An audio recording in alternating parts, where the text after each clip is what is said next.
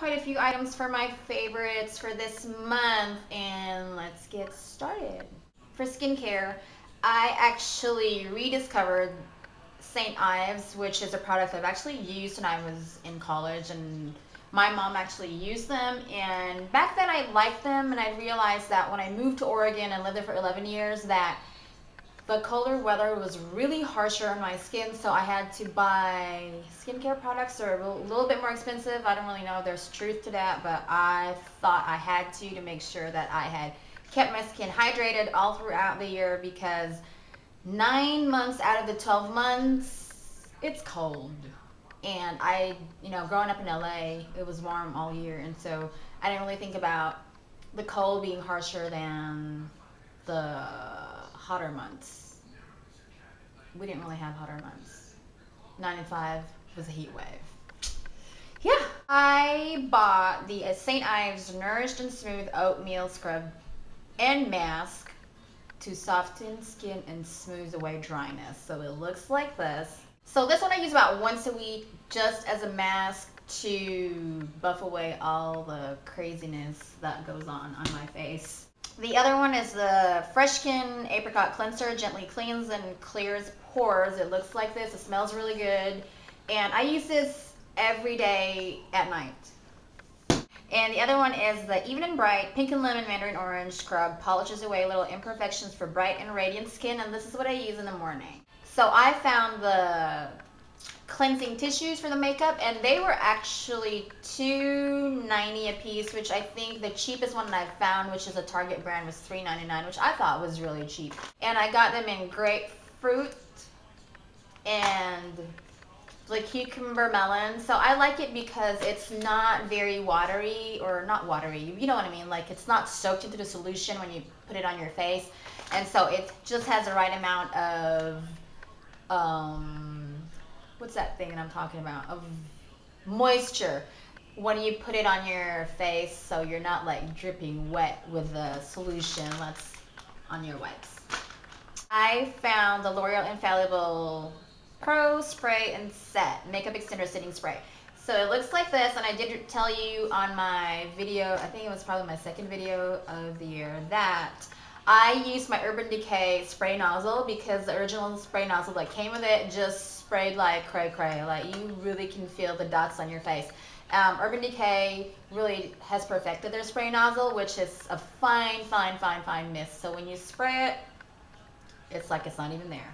I do like this product in terms of extending my makeup. However, I feel like it moves my makeup, especially the one underneath my eyes. And so what's weird is like this side sometimes I feel like my stuff underneath my eye creases, but I don't know, maybe that's just my eye or the skin underneath my eye, but I've never had that problem before, so I don't know if it's this one or if it's something else. I might have to investigate on that.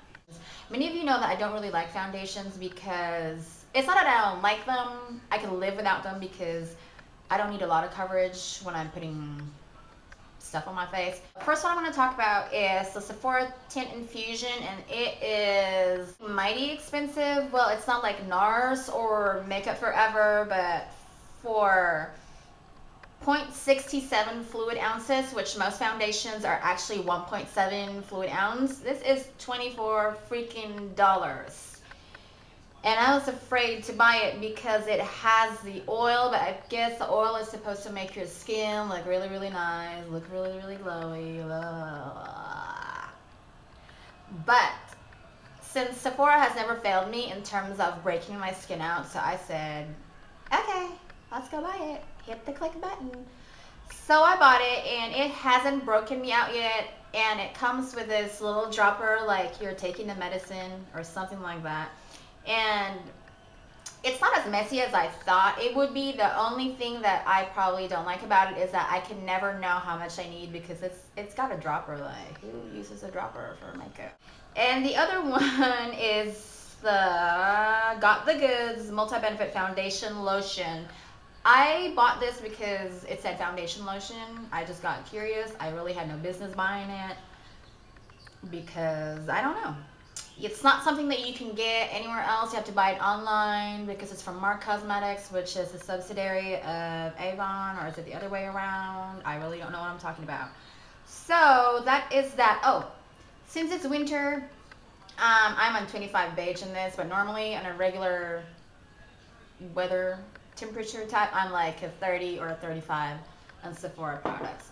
And this one is in light, no, medium six. It looks like this. The packaging is really good. It comes with a pump. Thank goodness. Hallelujah. And it does feel like lotion. So given that you already know it probably is like a tinted moisturizer and it is so a lot of people may not like this i did some review on youtube well actually not i didn't i didn't do a review i looked at some reviews on youtube and a lot of the reviews said it was really good but it's not for full coverage which is what i like the other one that i use when i don't feel like using foundation because a lot of times i don't feel like using foundation is the LA Girl Pro BB Cream HD Beauty Balm. I told you before, every time they say HD, I'm always curious to buy stuff like that because I don't really know how HD is going to do for my face, like high definition, like what is it going to do, really? You know what I mean? But for $6.99, holla. So I have my favorite, I guess, highlighters to show you. One of them is my all-time favorite, which is Mary Lou-Manizer by The Balm. And I think on my older videos, I had this as well. And then I moved and then it broke. And then I decided that I was going to be lazy and not buy it because it is $24. It looks like this. It's a vanilla champagne color, which is really, really nice. It is finely milled, so it goes into your skin really, really nicely. I really literally live under the rock because things that I think are new have actually come out like two, three years ago. What the hell? So one of them is Fergie, yes, Fergalicious, came out with Wet and Wild. Well, actually, I guess obviously she partnered with Wet and Wild Cosmetics, and she now has the Center Stage collection, and this is the To Reflect Shimmer palette in Rose Champagne Glow, and it is really, really pretty. And it is also really, really big. It's kind of like half the size of my face. Okay, just kidding, because my face is bigger than this, obviously. It is like a baked highlighter, so it's got those marbling over there. You all know what that is like. But I really like this for a drugstore product. It is very, very affordable. You've got a lot of product for the price that you pay for, and I think that it is finely milled, although sometimes you'll, always have a little bit of fallout. And the other one that I love, it's from NYX. It's the Baked Blush, but it's also an illuminator slash highlighter and bronzer all in one. Looks like fancy, but it's not. It's really simple. And this one is in chiffon, and it looks like this. Did I say chiffon? Chiffon. I just sounded all my letters there. Chiffon. That's not cool. Again, I bought it because the packaging is cute. I have a problem with cute things and I get attracted to them. Won't you? So it looks like this. Chiffon. Chiffon. Yep. So this one is really um, nice, just like your really nude blush, and then you put more highlighter, and you just look like you're just glowing without looking like a disco ball. So bronzer, I love the Balm's Bahama Mama. I have a video on bronzers a long, long, long time ago, and I think I had like 12. Who has 12 bronzers? Apparently I do. I don't have it anymore. I don't have 12 anymore. I might have three left or four. But this is obviously, as you can see or can tell, my favorite because I hit pan and I'm still trying to drive it to the ground. Well, I'm not I'm driving it. Use it until it's really, really empty. So I went to Ulta and I found Real Techniques um, has their own version of Beauty Blender, but it's the Miracle Sponge. So it's like this, and mine is super dirty. Excuse the dirtiness of my blender. I think that this makes your foundation look really good, or what do you call that? The airbrush finish, whatever. However, it depends on the foundation you're using. I think that whenever I use this with the foundation from Sephora, the Teint Infusion, it does move the foundation a little bit and it makes it a little bit cakey on my face. But other than that, everything else that I've used it with works fine. So try this instead of uh, spending $30 for a beauty blender. The next one is this big ass fluffy brush. Should I just say ass? Yes, I did. But yeah. Look how fluffy that is. This is my powder brush. I used to powder, duh. And this is actually from Rite Aid. Brushes, as y'all know, real good ones are very expensive. Like you can get one of these for $30 if you buy a MAC or a Sigma or whatever. Really high quality makeup brushes are really expensive, but I've had this for two years. And look, I swear, by the moon and the stars, it has not failed me. I really do have dirty makeup brushes. I'm sorry. But um, it hasn't shed, maybe, you know, here and there. But other than that, it's still very fluffy. It's still very soft. And voila. One last face product. It's the Maybelline Baby Skin Instant Pore Eraser, which I did a review on on the Primers, Primers, Primers video. I do love this product. It is really good for the winter time especially if your skin tends to get drier in the winter. I don't have dry skin, but in the winter time it tends to get a little dry, especially right now. It ha we have snow. We have snow in Texas. They told me it doesn't snow in Texas. They lied.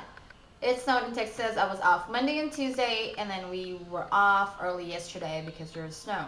And now there's snow outside, and we can't go outside because there's snow. And I'm mad at the snow. But um, this one's really good. Urban Decay, as you all know, like the Naked Palettes and all that wonderful goodness. They also have single eyeshadows, and forever my favorite will be Sin, and the this one is also on the Urban Decay Naked One palette. Um, so it's look like it's la, la, la, la. It looks like this. It's a nice champagne color. So this is the Silky Sheen Eyes Shadow, and it's the Dreamtime Legend, and this is by Sue Devitt. It comes in this little uh, very sleek, very thin packaging, which I love. Okay, four products, lip products. Um, I've always loved Burt's Bees Pomegranate Moisturizing Lip Balm. It's very simple. It looks like this. You can get this anywhere, but if you get it at Walmart, you actually get it for $2.47. I found Vaseline Lip Therapy in Rosy Lips. It looks like this. This is $1.87 in Target. And then last two, even I'm running out of breath just talking. so last two products I have are lipsticks. Surprise, surprise, I hate lipsticks. There's a lot of things that I hate. I don't hate them, but I like the one that is more, not shimmery, but has a sheen. I don't like matte lipsticks because they, I don't know, they, they make my lips feel dry. So these are my Estee Lauder Pure Color Gloss Stick. So it's like lip gloss in a stick.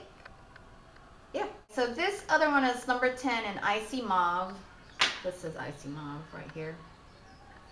And this other one is called Pink Sorbet number 9. Ooh, you know what I forgot about the eyes? Is Maybelline New York Lash Sensational Mascara. It makes my lashes really long and va-va-voom because I don't have lashes that are you know that curl naturally so I have to like use the mascara to make them go up like that. I should just buy an eyelash curler but that that's like putting you know something in your eye. I don't know if I can handle that. So I just use my mascara. But that's that. So until then I will talk to you all later. Bye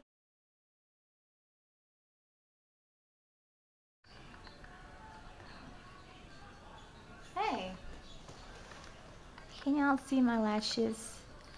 No, you can't. Mm, it's too close. That's Maybelline. And I don't really know the rest. Okay, bye.